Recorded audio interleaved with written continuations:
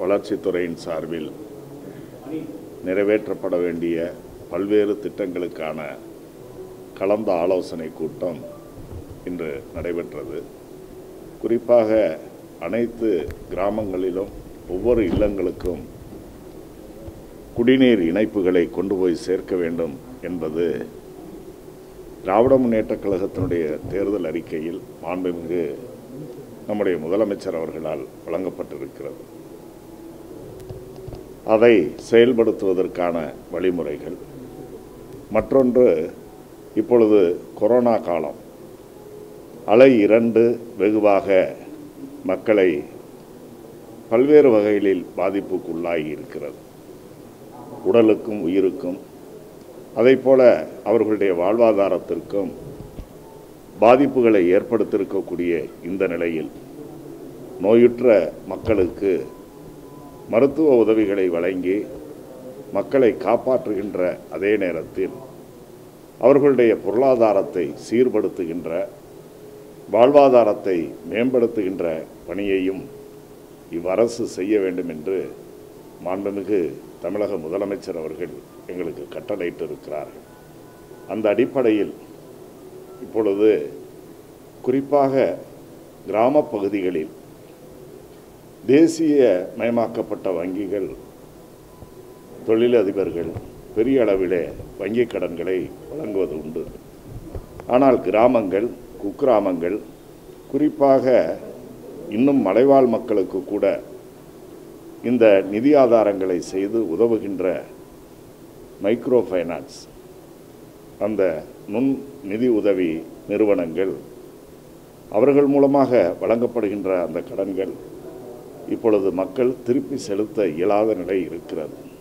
ஆகவே அதை அந்த கடன் வழங்குகின்ற வங்கிகளுடைய முதன்மை நிர்வாகிகளோடும் அதே போல ரிசர்வ் வங்கி மற்றும் தேசிய உடைமையாக்கப்பட்ட வங்கிகளுடைய நிர்வாகிகளோடு நம்முடைய துறையின் அலுவலர்கள் கலந்து பேசி இந்த நெருக்கடியான சூழ்நிலையில் மக்களுக்கு உதவ வேண்டும் என்ற எண்ணத்தோடு நீங்கள் கடந்த காலங்களில் உதவிகளை வழங்கியிருக்கிறீர்கள்.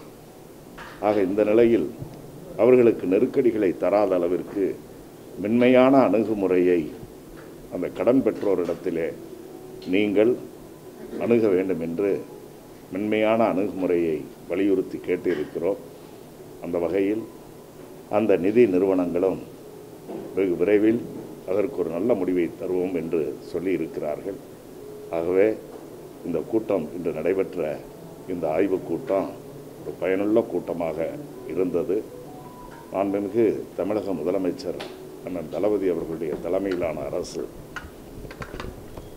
சிறந்த ஒரு அரசாக இந்திய துணைக்கண்டத்தில் ஒரு முதன்மை மாநிலமாக தமிழகத்தை உருவாக்கி காட்ட வேண்டும் என்று அவர் எடுக்கின்ற முயற்சிகளுக்கு ஊரக வளர்ச்சித்துறை உறுதுணையாக இருந்து செயல்படும் என்பதை நான் தெரிவித்துக் கொள்கிறேன் ஊரக வளர்ச்சித்துறையின் சார்பில் ஆங்காங்கு சுத்தம் செய்வது கிராமப் பகுதிகளில் தூய்மையை நிலைநாட்டுகின்ற வகையில் குப்பை கூளங்கள் இல்லாமல் கழிவுநீர் தேக்கம் இல்லாமல் அவற்றையெல்லாம் துப்புரவு பணியாளர்கள் மூலமாக செய்து கொண்டிருப்பது ஒரு புறம்.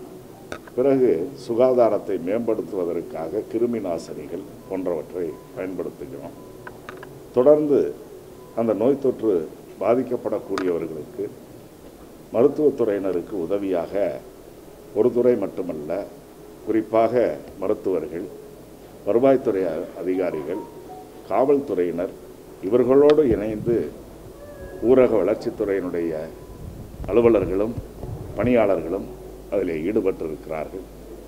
ஆக ஒரு நான்கு தூண்களாக இணைந்து கொரோனாவை விரட்டுகின்ற அந்த காரியத்தை செய்வதில் ஊரக வளர்ச்சித்துறையினுடைய பங்கும் வெகுவாக இருக்கிறது.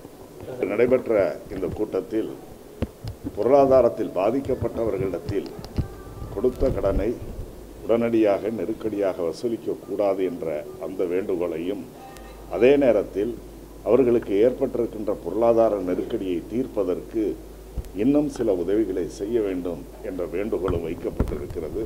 நிச்சயமாக உரிய நடவடிக்கைகள் மக்களுக்கு சேரும்.